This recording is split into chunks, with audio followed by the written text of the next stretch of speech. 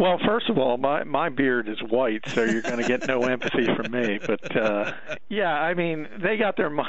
You know, I get you know millions of dollars, 243 pages, and we get the term generally aware. You know, I it's it is what it is. You know, from day one, I, I thought this was overblown from uh, a league standpoint. I talked to a number of players, a number of quarterbacks. They didn't think it was that big of a deal. Uh, you know, but the Patriots have the reputation they have, and and certain people are jealous of their success. So it, it's going to be played, you know, one way from one group of people, and the Patriots supporters go the opposite direction, and really nothing gets accomplished. But uh, you know, I don't think it's that big of a deal. I just don't. I agree that the action is not that big of a deal, but how about Brady, you know, suggesting he doesn't know who the guys are, basically kind of, you know, I don't want to say covering it up, but he obviously these guys knew who Brady was and certainly to some extent had some sort of orders to do this. Wouldn't you agree?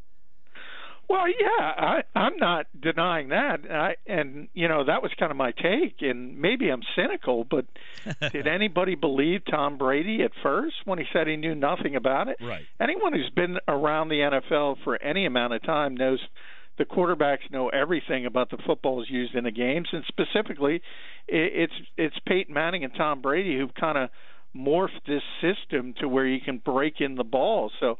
I think everyone knew that at least you know maybe not the casual public but uh so to me it wasn't you know did people expect him to go in that press conference and say yeah I did it?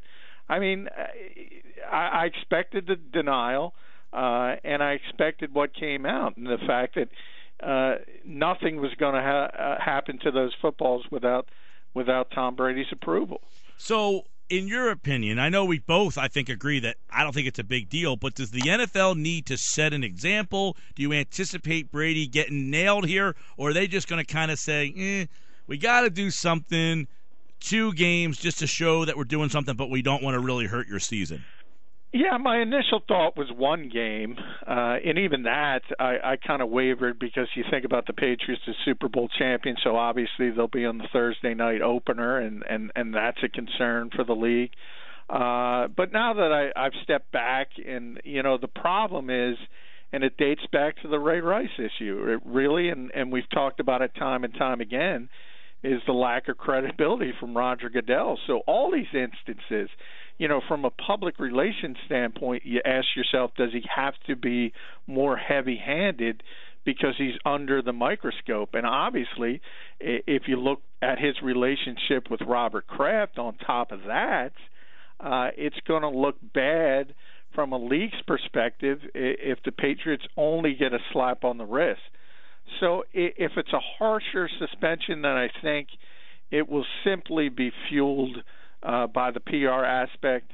I, I don't think people in the league uh, uh, really think it's worthy of some. You know, some people have thrown out this wild speculation that they should be, you know, Brady should be suspended for the year, or the Patriots, you know, uh, a first round pick should be taken from them. That kind of talk is ridiculous. Uh, but it might be more heavy handed simply because they have to be. If this isn't Tom Brady, I mean, we don't care a lot to begin with, but if it's not Tom Brady, does it even get mentioned?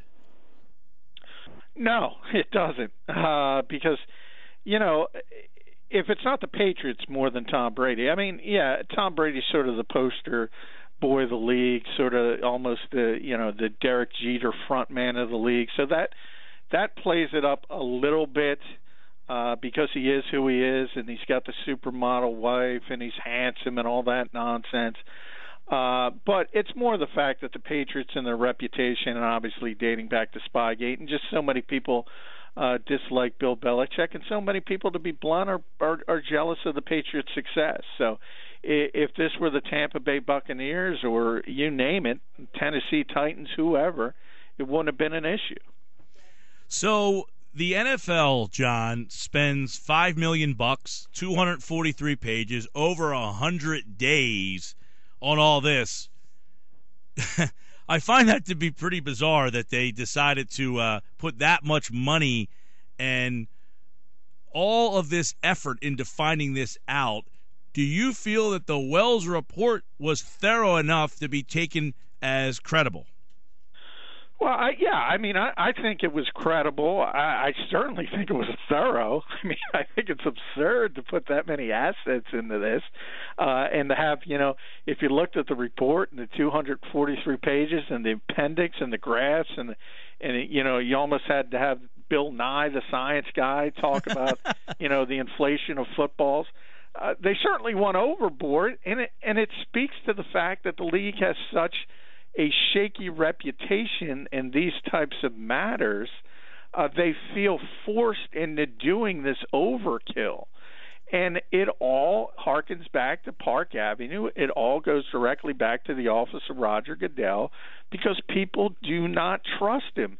And I don't understand 32 owners of this league can't put two and two together and understand they're not going to be able to move forward credibly at least in these types of issues until someone at the top has credibility to do it. John McMullen's the NFL editor, sportsnetwork.com. He's got a full story on this. And basically, the premise of your story is to grow up. And who are you, for the listeners out there, kind of telling to grow up here? Who is the story kind of directed towards? Because I think it's very well, well written. I, I, I, it's both sides, basically, because, you know, uh, if you think about it, the only thing that's happened here is you have the two camps, and you have the one camp that just, you know, hates the Patriots, and, and they, you know, they talk about they're cheaters. They don't deserve this. They don't deserve this legacy. Tom Brady, Bill Belichick, and you have the other camp, which is, you know, Patriots uh, fans and and and people who just say, you know, it doesn't matter. Uh, everybody does it. Uh, it. It's not that big of a deal. You're picking on us, and you really get nothing accomplished. So, you know, but my whole point with with the column was that you know we're always so surprised, and I don't understand that. And I, you know, I, I talk about Alex Rodriguez. You remember when when everyone was saying he was going to rescue baseball from Barry Bonds and and we talk about Lance Armstrong and and how great he was and Tiger Woods and all this hero worship. The bottom line is professional sports and as I said NASCAR rules apply. If you ain't cheating, you ain't trying. And for those who un- don't understand that, you know, that's where I said grow up. Uh, John, great stuff on that. Let's flip over to your other piece uh, over at sportsnetwork.com where uh, do you have the same message for LeSean McCoy? Grow up. Yeah, a little bit. I mean, you know, LeSean McCoy comes across to me as sort of a spurned ex, and and you know, taking shots at Chip Kelly, and they're they're very irresponsible, especially in this environment uh, that we're in. I mean, you, we're we're days off a major American city being on fire because of racial racial issues, and and and to throw out those charges uh, which in, in essence LeSean McCoy did, and Stephen A. Smith to a certain degree uh, toward Chip Kelly is just you know completely unfair. If you look at what he's done, of course he's moved on from DeSean Jackson. Of course he's moved on. Uh, from Shady and, and Jeremy Maclin, but you know, look at the replacements. It doesn't take uh, you know uh, an advanced degree to know that uh, every receiver he's brought in is has been African American. The two running backs to replace, uh, you know, think about moving on from Nick Foles, and you have a uh, a, a quarterback is part Native American, another quarterback is Latino American. It's it's just, you know, I said if Chip Kelly's a racist, he's not a very good one. Uh, it, it just doesn't hold up, and it and and it all goes back to Riley Cooper. It goes back to one incident because Chip Kelly didn't cut Riley Cooper. And to be honest, I'm surprised he didn't do it because it would have been easier for him. Uh, but Chip only thinks in football sense. Well, let me, let me stop you real quick and ask you a question. Okay, so this situation comes up. This gets thrown at Kelly the first time is his first year in the league. Was it the fact that he didn't cut him, or was it the fact that he then rewarded him with the contract that you think maybe has these African American players that are outspoken about it, or coaches? Because Trey Thomas as well, and media, Stephen A. Smith, that has them somewhat outraged? I think it's both because they look at Riley Cooper and they don't see what Chip Kelly sees. They they just rate receivers on on what we normally rate receivers on, and that's the fact of production catching the football. And that's not what Chip Kelly sees in Riley Cooper. He he sees a six foot three, six foot four guy who blocks, and that's what you need in a read option. You need guys on the edge playing the wide receiver position that can block, and that's not sexy, and that doesn't make sense uh, to people who maybe don't follow the game as closely as others do. Uh, and and again, they just look at it and say, well, Jeremy Maclin's a much better receiver than Riley Cooper. DeSean Jackson's a much better receiver than Riley Cooper, and they are as far as production goes. But Riley Cooper isn't replacing those players. The receivers replacing them are Jordan Matthews, are uh, you know Nelson Agholor, you know hopefully Josh Huff. Those are the guys who are supposed to catch the football and do the damage. Riley Cooper's there for a specific reason, and we all know what that is to be a blocker and as a complementary guy. Yeah, that's pretty evident. And, and you mentioned some of the other things uh, around the team. I said, you know, LeSean McCoy comes out and says, you know, he gets rid of all the good black players, um, you know, the the good ones. Well, he did trade Nick Foles. I mean, to me, it's pretty evident that he was just looking to upgrade regardless of cover uh, color. He chose Michael Vick over uh, Nick Foles when he had the opportunity to make that decision. So, I, I, I find this to be a little bit odd. But I wonder if it just again goes back to that if that Cooper thing didn't exist, would all this stuff be out there? No, it wouldn't, because that's the only thing you can really hang your hat on if you're going to make this charge. Uh, and it's understandable because of you know obviously he embarrassed himself and the organization. There's no question about that. Uh, but that's really the only thing you can ha- hang your hat on right. uh, if you want to make this charge. And and as long as he remains there, uh, people will lean on that, even though the the evidence points in a different direction. Uh, but that's something you know if Chip, you know, decides one day he wants to pay attention to the spin in the public relations, he might move on from Riley Cooper. That hasn't been his MO. He's a football guy 24/7. He's not, you know, thinking about race relations. He doesn't think about, you know, how it, it impacts uh, people's views on him. He's just thinking about football. Uh, and you know, from Shady's standpoint, it, it, again, it's not about African Americans. It's not about stars. It's about you know I and me players versus team players. And I think you know unfairly, even in the players he's cut, uh, I think you know DeSean Jackson, Shady McCoy clearly he wanted to move on from those players, and he looks at them as as I type players.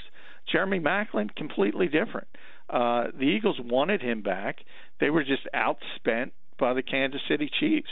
Uh, so you're really only talking about two players, and you know, Chip Kelly's not the only one that would look at those two specific players and say, you know, they're not the the most you know uh, team guys in the locker room, and and and they themselves probably wouldn't even deny that. John, I want to ask your opinion on uh, La'el Collins. We talked about him when you were on earlier in the week, and I said, you know, here's a guy who kind of lucked out. He gets to pick and choose where he wants to go. Now he didn't get a huge deal, three years, 1.6 million. He can renegotiate that after the second year. But how about Dallas? Is this a big coup for them to be able to land Collins? Where would he have been drafted, and how big of a signing is this for Dallas? Uh, it's a, it's a huge signing uh, from a talent standpoint. I mean, you're talking about a top 15 or 20 player in the draft. Uh, I, I, you know, his floor would have been 21 to Cincinnati. So you're, you're talking about a very talented guy, and and going to an offensive line that was already probably the best in football. Uh, you know, and but the Cowboys, you know, the one advantage they have, and and you know, is that Jerry Jones can afford to take chances that other NFL general managers can't, and it's for rather obvious reasons. He he's never going to fire himself. So when you talk about whoever, whether it's Collins, whether it's Randy Gregory, whether it's Greg Hardy, uh, whether it's Dez Bryant, uh, you know, roll down the list of names. You know, it, it's a concern for other general managers because if things like that blow up in their faces, they might pay with their jobs. Obviously, Jerry Jones is never going to fire himself. So the Cowboys can afford to take these types of chances, and, and you know they got a very talented kid, and I, I think people have quickly moved on uh, from the obviously the murder case, and and the police, uh, you know, have been very for in forefront and said Collins has not been a suspect, but he hasn't been totally cleared of any wrongdoing. Let's remember that. You know, we all hope he had nothing to do uh, with that crime. Uh, you know, but we've all seen enough Dateline NBC to know just Sure. because you're not in a place doesn't mean you couldn't have hired somebody. So there's still some concerns and and the Cowboys are the one team with a general manager that doesn't have to worry about that kind of stuff. They can take those chances. John, on the uh, last note here on the Eagles uh, report today that uh, Chip Kelly was calling all around the NFL to try to get Mychal Kendrick a second round pick for Mychal Kendricks. Now we have heard Chip Kelly say many times that no players have been discussed. He believed that or he had said that Kendricks will be here, but if he was calling around and wasn't able to get a second round pick, does that tell you that Kendricks will be here or that they're going to keep trying? Oh, they're going to keep trying. I, I mean, there's no question about it. I, I mean, we we know Kiko Alonso is there. He's he's slated to start, DeMeco Ryans is slated to start. And also, you bring in Jordan Hicks. I mean, how many inside linebackers do you need? Uh, and you know, there's speculation you could kick somebody out to the outside, but understand who do you have out there? Connor Barwin, Brandon Graham, both highly paid. Both are going to be on the field. Uh, he doesn't fit here. It's pretty clear. Chip Kelly, for whatever reason, uh, has decided, you know, he would like to move on from that particular player. But, you know, he, like a lot of fans out there, you know, put, you know, unfortunately, uh, that's the way this league is. And, and a guy like Kendricks, even though he's a proven player, even though I, I think he's an ascending player, uh, and I see a lot more in him than Chip Kelly does. Uh, you know, he's not going to get you a second round pick in this environment. NFL teams value draft picks above all else. If you can get a, a, a fourth round conditional pick or something like that, uh, I think that's the eventual end game, and I don't think Mychal Kendricks is going to be here. All right, uh, we'll keep our eye on that. Yeah, I, I think that's uh, one of the interesting stories. We'll see what happens with him, Mathis, and Boykin. Those three names continuing to remain in Philadelphia, but for how long? Well, the offseason is uh, still a ways to go as we get to training camp in August. John McMullen over at SportsNetwork.com for more on all of the big NFL stories, including your favorite Deflategate news of the day. Thank you, John. Hey, thanks for having me, Mike.